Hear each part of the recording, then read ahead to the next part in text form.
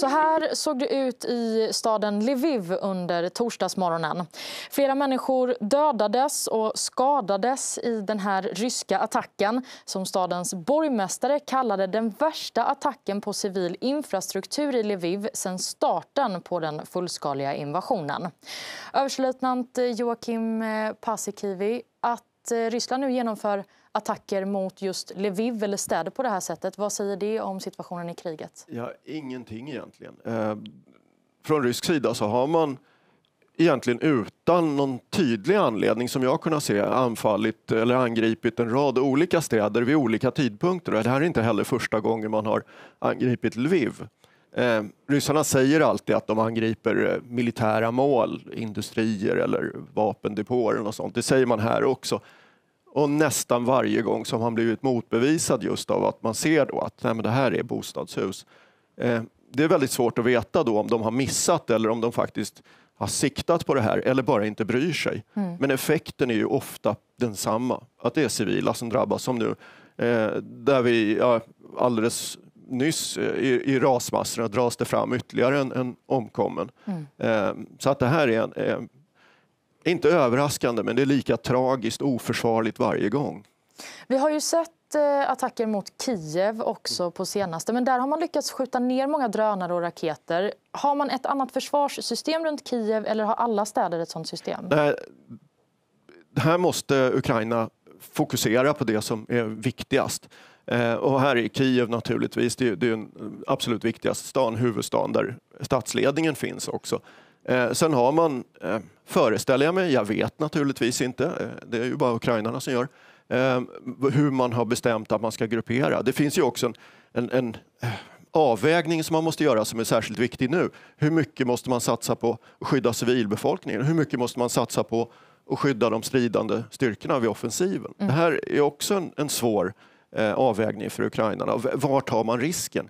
Eh, och, och, nu senast så sades det ju då från Ukrains sida att man sköt ner 70-75 procent av de robotar som skickades mot Lviv. Det är en fantastiskt bra siffra, men det räcker ju med att det kommer fram bara någon eller några robotar för att kunna göra riktigt stor skada. Mm. Något annat som också är intressant med just Lviv är att det ligger ganska nära polska gränsen. Det är 35 mil fågelvägen. Att man gör en attack så nära en gräns till ett NATO-land, är det riskabelt för Ryssland? Ja, man har gjort det förr och, och, om man nu gör det med precisionsvapen som man litar på så ja, uppenbarligen så anser man att det inte är någon, ja, inte så stor risk i alla fall. Och, och, det är ju så att de har inte skjutit in i Polen eh, eller de angränsande länderna.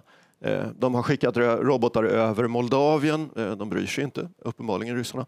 Men det är ingen större risktagning så länge man slår mot Ukraina eh, trots allt. Och, och, det är uppenbart i det här kriget, än så länge i alla fall, att varken Nato eller NATO-länderna eller Ryssland vill att det ska bli en strid mellan Ryssland och, och, och Nato. Mm. Så man är nog från rysk sida väldigt noga med att se till att man faktiskt inte skjuter på ett sånt, eh, sånt sätt att det skulle eh, ja, träffa Polen.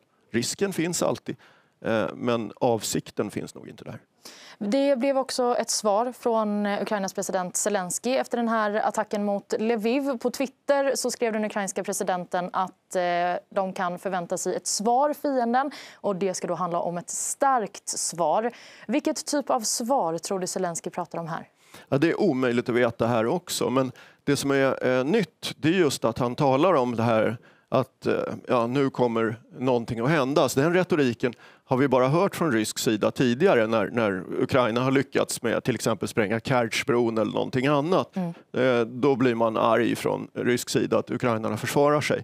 Eh, vad svaret kommer att bli, ja, det är svårt att säga. Så vi har ju sett drönarattacker mot eh, strategiska bombflygets flygplatser i, i, inne i Ryssland. Det har också förekommit sporadiska små drönarattacker mot Moskva eller vid fronten. Alltså det är väldigt svårt att säga, men det är uppenbart nu att man från Ukrainas sida är ska vi säga, mer offensiva i sitt försvar.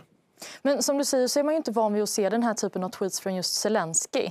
Är det en, eh, ny, en ny taktik från honom tror du eller är det ett eh, enstaka exempel? Nej, jag tror att det här man nu har tydligare, eh, eller att man från Ukrains sida tydligare markerar att, att det här är eh, så förskräckligt som det faktiskt är. Inte minst för att fortsätta belysa för, för oss i väst att ja, men, ja, kriget fortsätter. Det här händer hela tiden. Ryssland anfaller våra mål. Eh, vi måste se till att försvara oss. Vi måste också få vapen för att göra det. Mm. I veckan har också Volodymyr Zelensky sagt att Ukrainas offensiv hade kunnat starta tidigare om de hade fått eh, mer stöd från väst i ett tidigare skede. Det här säger den ukrainska presidenten i en intervju med CNN. Joakim Paasikivi, överstelöjtnant. Har Zelensky rätt i detta? Ja. Eh, det är väldigt enkelt. Det är ja, punkt det är klart att hade Ukraina fått de vapen som de har fått efterhand tidigare, ja då hade man ju kunnat använda dem tidigare. Sen finns det naturligtvis alltid en avvägning. Eh, man måste se utbildade soldater för att kunna använda dem på rätt sätt. Men, mm. men om vi tänker oss att stridsvagnarna hade kommit ja, i september förra året istället för i, ja, där beslutet togs i januari i år. Ja, men det, det är en ganska stor skillnad. Alltså det gör stor skillnad. Då hade man kunnat förbereda sig under vintern, man hade kunnat sätta igång så fort eh, ja, terrängförhållanden medgav. Eh, nu har ju Ukraina inte fått alla de vapen som utlovades i, i, i senvintras. Alltså det är fortfarande 31 Abrams-vagnar som man håller på att utbilda på i Tyskland, eh, amerikanska stridsvagnar. Så att det är klart att varje så här vapenpaket har kommit, tycker jag, för lite och för sent. Eh, och hade de fått det tidigare, det är klart, då hade man kunnat starta tidigare också och kanske nå ett bättre resultat. Det går trögt nu. Eh, hoppet är inte ute, men det går trögt. Men varför har det tagit så lång tid då? Ja, det är väl framförallt inrikespolitik i väst. Eh, det vill säga att man, man måste ju hela tiden, och det är helt naturligt, göra en avvägning mellan vad är risken ifall vi lämnar ifrån oss den här militära förmågan, för det är det man gör, till Ukraina eh, jämfört med om vi hade den kvar hemma. Eh, nu är det ju så att det är Ukraina som slåss med ryssen eh, och, och, de vapen som vi ger till Ukraina det är det som vi skulle ha själva i väst för att kriga med ryssen. Mm. Eh, så här finns det då att ja, men risken är förhållandevis låg, då kan vi ge det till Ukraina. Eh, men det har också varit förenat med, i Tyskland i synnerhet och på andra ställen också, en stor inrikespolitisk debatt. Hur mycket ska vi stödja? Kan vi göra det med vapen och så vidare? Eh, och den här processen pågår hela tiden, plus att det är dyrt. Det är hela tiden en ekonomisk fråga också. Men du pratar om det att det går trögt nu för Ukrainas del. Vad är det som gör att det går trögt och vart går det trögt? Ja, eh, det går trögt framför allt eh, i Zaporizjzja-regionen där offensiven trycker på. Eh, och det gör det därför att ja, vi lät ju då ryssarna mobilisera. Och, och med vi lät då, om vi ska ta Zelenskyjs kommentar om att man har fått vapnen för sent. Ja, under den tid som ukrainarna inte hade fått stridsvagnar från väst Eh, då har ryssarna under sex månader eller mer grävt försvarslinjer. Mm. De är väldigt besvärliga att komma igenom och framförallt de omfattande mineringarna som försvaras av de ryska soldaterna. Det gör att det går trögt. Det är inte så att det är eh, ja, kris och, och, och, kaos och det kommer aldrig att gå. Det är liksom gråt och tandagnisslan på den ukrainska sidan. Nej, det är bara att det går trögt. Eh, men det är lite de förväntningar som vi hade i, i väst i, i, liksom blåstes upp på många håll var att det här är som en ketchupflaska. Att, ja, men, plötsligt kommer allt att, att rinna igenom. Mm. Eh, och det vi ser nu är liksom motsatta effekten. När det inte blev någon ketchup-effekt då är ingenting kommer att fungera någonsin. Mm. Eh, sanningen är ju, som många har sagt, att det här kommer att vara hårda strider under stora områden under lång tid. Eh, och Ukraina går framåt. Det är bara att det går långsamt. Man hade önskat att det skulle gå bättre. Eh, men de hårdaste striderna ja, i det här området, i viss utsträckning här och sen den ukrainska offensiven som trycker på här. Men om de här vapnen från väst hade kommit tidigare, hade kriget varit slut nu då? Om de hade fått allt som de har fått hittills, om de hade fått det i augusti-september när ukrainarna började få mycket, då tror jag att det finns en god chans att det faktiskt skulle vara så. För att då hade de vapnen fått effekt före den ryska mobiliseringen hade fått någon betydelse. Och då hade ju ukrainarna slagit den första ryska armén som gjorde invasionen i princip. Mm. Eh, och hade man fått tid att bygga upp det här, ja då hade man nog haft ett avsevärt gynnsammare läge än man har nu. Och när det gäller just eh, stödet från väst har det kommit eh, nya uppgifter om att USA kan ha med klusterbomber i sitt nya då stödpaket till Ukraina. Klusterbomber först och främst, det är inte så vanligt att man använder det. Det är jättevanligt i det här kriget. ryssarna gör det, ukrainarna har gjort det i viss utsträckning också. Eh, men i väst så har de flesta västländerna skrivit på det som är alltså klustervapenkonventionen, att vi inte ska använda dem. USA har inte skrivit på, men det har inte heller Ryssland eller Ukraina gjort. Eh, det är en väldigt effektiv vapentyp och skälet till att man har förbjudit den, de som har skrivit på, då, det är att det är som en, en behållare med en massa små vapendelar i, alltså som en korg med handgranater eh, för att vara slarvig. Eh, men varje sån här liten individuell stridsdel eh, exploderar inte alltid och då kan de ligga kvar och då kan de på sikt skada civila. Här har ju då Ukraina sagt att nej, men vi behöver de här av två skäl förmodligen. Dels så om man kan använda dem som, som avsett, det vill säga släppa dem, då fungerar det väldigt bra till exempel på ryska skyttegravar och befästningar. Det är ett idealiskt vapen för sånt. Mm. Men också att de vill ha en möjlighet, så vitt jag förstår, att, att liksom ta isär den här öppna korgen och sen använda de individuella laddningarna och sätta på drönare. För de är bättre för det än det de har nu, handgranater och annat. Eh, så att exakt hur man kommer att använda de här, det är lite oklart. Eh, om man kommer att fälla dem med flygplan, det är väldigt farligt i så fall för ukrainarna och, och ja, tveksamt eh, om man kommer att kunna det eller om man kommer att dela upp dem. Men att klustervapen, alltså multipelstridsmedel, ja, det har använts under hela kriget, framför allt av ryssarna. Så då är det inte så kontroversiellt att USA i så fall ger det till Ukraina? Ja, det är bara kontroversiellt i väst. Alltså där vi, eh, ja, framförallt de som har skrivit på klustervapenkonventionen har gjort det i en miljö där vi har tänkt att nej, men det blir ju inte krig. Eh, och då kan vi ta bort de vapen som vi vet är väldigt effektiva men samtidigt farliga på lång sikt. Mm. I det här fallet har ukrainarna gjort den avvägningen att ja, det är viktigare att, att rädda landet och försöka röja dem där sen än att säga att nej, men vi ska inte använda dem därför det kan bli farligt någon gång längre fram.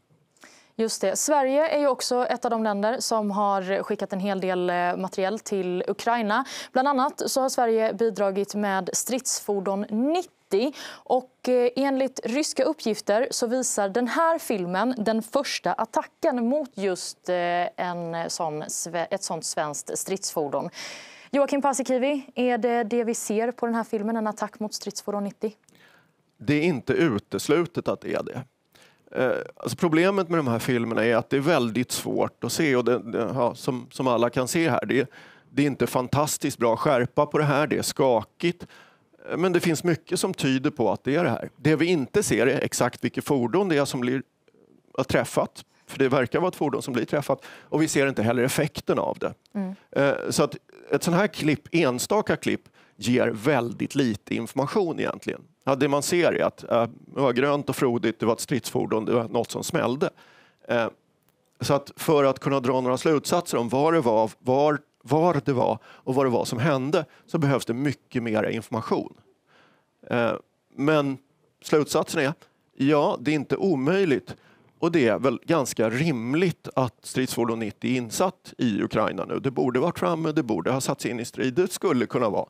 Så ja, inte omöjligt, men för lite information för att kunna säga någonting säkert. Mm, och det här är ju ett klipp då som eh, sprids från den ryska sidan. Mm. Varför vill Ryssland visa att man då enligt dem själva förstör stridsfordon 90? Ja, men därför att eh, de vill peka på att den materiel som vi skickar eh, tjänar ingenting till så att vi inte ska skicka mer. Eh, vilket ju naturligtvis är fullständigt nys. Eh, och inte minst illustreras det av eh, det, det, var ju en strid ganska tidigt här i, i offensiven där eh, ukrainarna fick flera Bradley-vagnar utslagna. Den håller ryssarna på att fortfarande använda. Alltså de lägger ut det från ambassader och andra och säger titta vad dåligt det går. Mm. Det finns inte så mycket på den ryska sidan liksom, för att säga här att västmaterielen är dålig. Eh, västmaterielen slås ut och det har vi sagt från början. De kommer att bli träffade. Men all information som kommer säger också att västmaterielen fyller sitt syfte. Eh, för även om den blir träffad så skyddar den personalen mycket bättre än de andra fordonen. Mm. Vi ska också gå vidare och prata om Wagnerledaren Prigozjin. Han har varit eh, försvunnen sen eh, kuppförsöket under midsommarhelgen. Och igår sa Belarus president Lukasjenko att eh, kvar i Belarus är han inte utan enligt honom så ska han befinna sig i ryska Sankt Petersburg.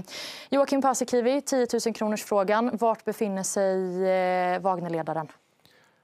Ja, ska man tro Lukasjenko så är han i Sankt Petersburg eller kanske har flugit vidare till Moskva. Det enkla svaret är vi vet inte. Eh, och framför allt så vet vi inte eh, varför vi inte vet. Alltså de, det här avtalet som eh, eller erbjudandet möjligen som skulle ha framförhandlats eh, av Lukasjenko med Wagnergruppen och Prigozjin eh, och som Putin sen i sitt tal har talat om. Det, det sa ju att ja, men Prigozjin ska vara i Belarus. Eh, Wagnersoldater får välja antingen åka till Belarus skriva på för armén eller åka hem till sina familjer. Mm. Det verkar som att i princip ingenting av det här har hänt än. Och det finns inte heller någon information om vad det är som egentligen händer. Så hela situationen är väldigt märklig. Men lever Prigozjin tror du? Eh, ja, eh, det är svårt att lägga en procentsats på hur mycket han lever. Mm. Eh, för det känns ju lite digitalt. Men än så länge så skulle jag gissa att han gör det. Därför att annars skulle vi nog få reda på det. Han är ju en så pass publik figur så att han kan nog hålla sig undan så att säga därför att det gynnar ja, myndigheterna och honom. Men skulle han dö, då tror jag att vi skulle få reda på det. Men han har ju varit extremt kritisk mot Kreml och mot Putin direkt. Han gjorde också det här kuppförsöket. Varför skulle han hållas vid liv så att säga? Ja, därför att Putin har lovat det. Eh, och här sa ju Putin tydligt, tydligt att eh, vid ett senare tillfälle att nej men eh, det, det som är utlovat det hålls. Att, men han ska åka till Belarus och han får. Men om han nu börjar röra på sig, ja men det är möjligt att situationen förändras. Men det är också möjligt att det finns ja, kanske hemliga delar av avtalet, om man vill spekulera fritt, va, som vi inte känner till. Det har inte skett några förändringar i, i eh, försvarsledningen som man hade spekulerat om att skulle vara en del av det här. Det, alltså det är en rad saker som är... Ja, det, det finns avsevärt mer fråg, fler frågetecken än svar. Eh, och skälet till att man håller honom vid liv Ja, det är än så länge tror jag att eh, ja, för att man motsvarar de eh, försäkringar eller försäkran som man har gett till honom. Eh, sen har ju FSB sagt att ja, även om, om det här avtalet hålls så håller man på att utreda honom för ekonomisk brottslighet. Men mm. det är en annan sak. Vi ska också eh, stanna upp lite vid några bilder som har börjat spridas på Wagnerledaren. Det är efter då en razzia som FSB har gjort i hans villa i Sankt Petersburg. Där hittar man bland annat guld och pengar och sådär. Men de här bilderna ska också ha hittats där. Vad är det vi ser för någonting? Ja, han måste ju vara superkul på maskerader. eh, det, här, han, det var ju också en lång rad pass han hade i olika namn. Eh, om det här nu är på allvar att han ska ha en, ett maskeringskit eller om det faktiskt mest är kul, det är svårt att säga. Det är väl, finns säkert en kombination av båda. Eh, jag, jag, har svårt att se att han skulle kunna resa och se ut som Sacha Baron Cohen i, i filmen Diktatorn som amiralgeneral Aladdin. Eh, men det är klart att, att på håll så skulle man kunna förklä sig och, och komma undan.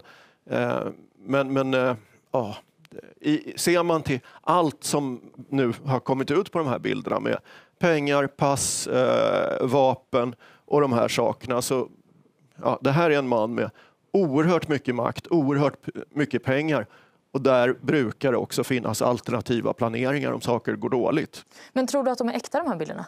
Eh, det tror jag. Mm. Varför eh, sprids de nu? Kan Ryssland ha något syfte med det? Ja, här har allt som eh, FSB och allt som kommer ut från ryska media överhuvudtaget är styrt.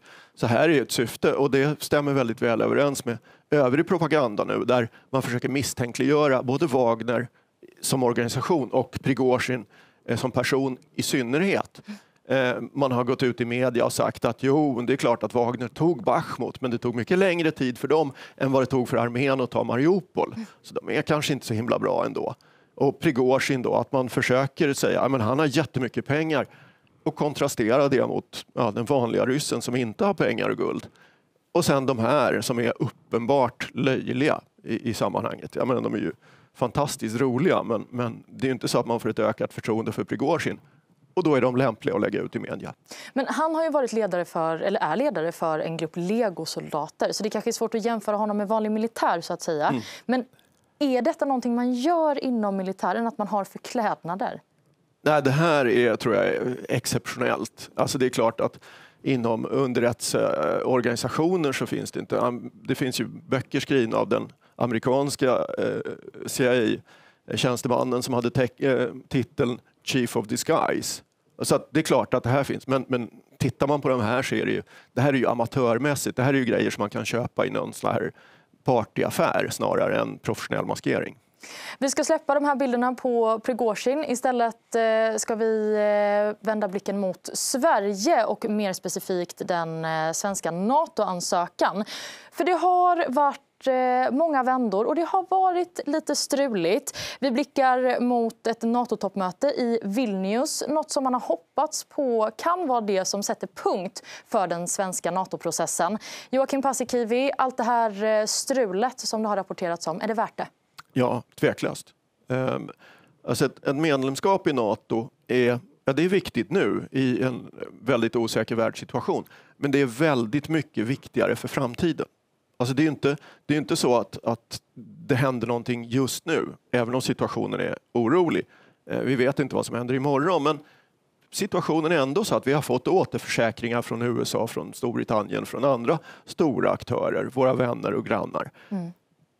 Men det är klart att det är mycket bättre om vi kommer med i Nato. Men framför allt, vad kommer att hända med världen om fem år, om tio år, om 15 år, om 20 år? Och då är det ju viktigt att faktiskt vara med i den här organisationen och kunna bestämma också tillsammans med övriga allierade, vad, hur ska vi parera de olika typerna av hot? Och det är därför, det är inte så här, det här är inte någon quick fix, det här är en lösning för framtiden. Och därför så är det, det är viktigt att vi kommer med nu. Men gör vi inte det, och det skulle ta ett år till så är det fortfarande så att det, då kommer det ändå ha gått väldigt fort för oss och väldigt lätt. Därför att alla länder som har kommit med från 90-talet och framåt har varit tvungna att göra omfattande reformer, eh, korruptionsbekämpning och så vidare, utom Finland. Där kom Finland med därför att Finland var redan klart. Mm. Sverige säger ju alla utom två, eh, Turkiet och Ungern, Sverige är ju också klart. Alltså, vi behöver inte göra demokratiska reformer, vi behöver inte göra korruptionsbekämpning. Vi är redan klara. Mm. Eh, och sen finns det två länder då som håller emot. Eh, men när vi väl kommer med, då kommer det inte vara en väldigt besvärlig process av det skälet. Ja, det är klart att det är anpassning av Försvarsmakten och system och, och såna här saker. Men, men de här grundläggande problemen, ja, de är redan avklarade. Så nu är det bara en fråga om när. Eh, och ja, Dröjer ett år till, vore olyckligt. Det skulle försvåra, det skulle vara dåligt. Eh, men det skulle ändå gå fort. Men jag hoppas verkligen att det går nu. Ja, men för när vi skrev under den här ansökan, redan då så pratade de om att det kommer vara rekordsnabb process. Ja. Men du menar att det fortfarande är en rekordsnabb process? Det är fortfarande en rekord, rekordsnabb process om vi jämför med alla utom Finland. Mm. Eh, och, och, problemet där var att ja, de löften som vi hade fått enligt trovärdiga uppgifter inför ansökan ja, de, ja, de förändrades sen efter det. Därför att eh, ja, av inrikespolitiska skäl i Turkiet och, och annat och eh, EU-pengar för Ungern och andra saker som, som man då väljer att eh, använda. För när vi väl kom in med vår ansökan, ja då fick, fick ju alla de som ville ja, två länder framför allt, då, en väldigt lång hävstång att börja bända med för att kunna förändra saker till sin egen fördel. Mm. Eh, så det är det vi lider av. Det är inte att vi egentligen är problemet själva. Till del naturligtvis, men framför allt eh, de flesta processerna handlar om andra grejer. Och Stoltenberg har ju själv sagt, eh, generalsekreteraren för Nato, att Sverige är fullvärdiga ja. medlemmar. Men om eller när vi kommer med, vad betyder Nato-medlemskapet i praktiken för Sverige? Vad kommer hända? Ja, det är att vi kommer att integrera vår försvarsplanering med Natos. Vi kommer att sitta med vid bordet i Bryssel och kunna fatta gemensamma beslut. Eh, och sen kommer det bli en rad andra saker, för då kommer vi inte vara med i Nato, utan vi kommer att vara Nato. Och här blir det en, en både mental och politisk process som, som gör att vi får då lämna vår gamla eh, säkerhetspolitiska modell och, och, gå in i en ny som jag och många andra tror är mycket tryggare. Men den är trots allt ny. Mm. Eh, och det gör att vi måste ja, till del anpassa oss, till del se till att och, och, ska vi säga, flytta positioner och till del vara med och förändra organisationen själv. Eh, men det blir en ny säkerhetspolitisk situation eh, som jag tror är mycket, mycket bättre för oss. Vi ska också nämna att eh, det finns ett annat land som också väntar på svar kring sin NATO-ansökan. Ukraina. Mm. Hur kommer det gå för dem? Jag tror att man från, Ukrainas, eller från Natos sida kommer att säga att förhållandet förbättras, de kommer närmare och så vidare. Men att eh, man kommer inte komma med från Ukrainas sida förrän kriget är, är slut. Däremot så kan man sätta säkert upp, sätta upp eh, egna eller nya bilaterala funktioner mellan eh, Nato och Ukraina. Man kan bygga ut kontakterna. Alltså skicka en tydlig signal till Ryssland också att Ukraina är på väg in till Nato, eh, fast inte just nu. Mm. Eh, för det är de här långsiktiga åtagandena från väst och långsiktiga signalerna som är väldigt viktiga för att säga till Ryssland att er strategiska idé om att förändra världen, den kommer inte att hålla. Vi säger stort tack till dig, Joakim Paasikivi, överstelöjtnant. Vi på Aftonbladet vi kommer såklart eh, fortsätta att ge dig senaste nytt. Så länge säger vi tack från studion.